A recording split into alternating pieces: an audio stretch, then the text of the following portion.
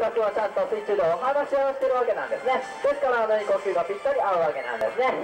さあこうなってまいりますとリーダーのカペラ君も負けてるわけにはいきませんよ。さあカペラ君にはテールアタックにチャレンジしてもらいましょう。大きなボールですがこのボールさては尾びれで持ってアタックしてまいりますよ。尾びれですから大変難しいところですが頑張っていきましょう。さあボールが軽になりますさあショット入れ取りますがよく狙って皆さんにアタックが決まりました。バレーボール選手も真っ赤ですね。カペラ君はあのボールをアタックする際にちゃんと横目で確認してるんですね。ですから大変命中率がいいわけなんです。失敗することはめったにないという。あ皆様方のリング合わせますとみんなで12個のリングとなってまいりますよはい遅れてもいいですからね。しっかり投げ込んでください。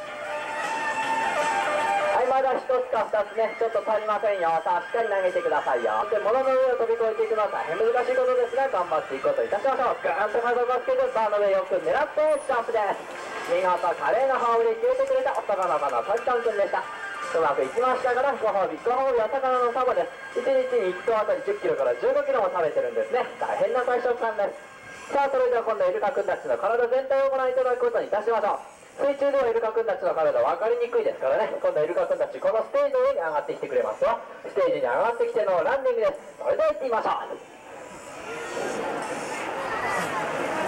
はいゴンちゃんも上がってきてくれました残りはジェミニとアイエス君ですよ。さあ頑張ってくださいよ。はいよいしょと。さあジェミニ君頑張って。はいちょっとね、えー、みんながいるからちょっと恥ずかしいなという感じのジェミニ君ですが。はい、どっか遊びに行っちゃったようですね。向こう側から津軽トリと間開けてカペラ、アリエス、フローラ、ゴンちゃんとなっております。バンドエル。はい、素晴らしい体をご覧いただけましたでしょうか。朝が続きましては、体が一番ちっちゃなジェミニ君に頑張ってもらいましょう。枠組みにチャレンジですよ。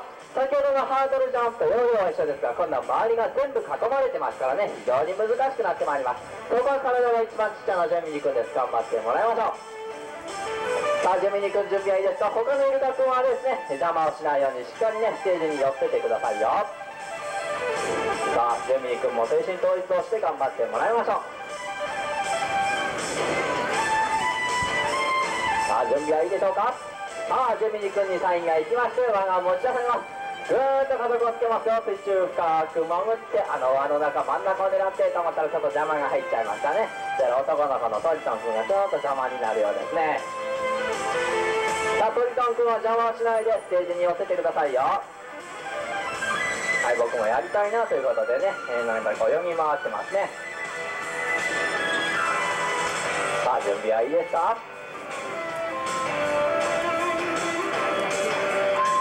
さあ真剣勝負ですよさあジェミニ君に再びサインが行きました。はいゴンちゃん危ないですよ。さあぐーっと加速をつけますがちょっとねゴンちゃんがちょっと気になるようですね。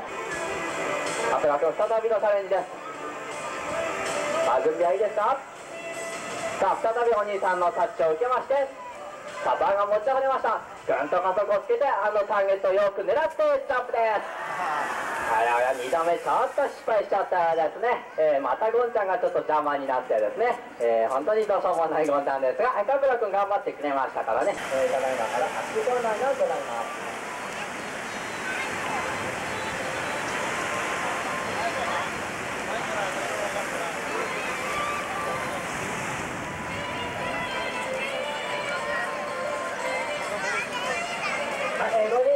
到我的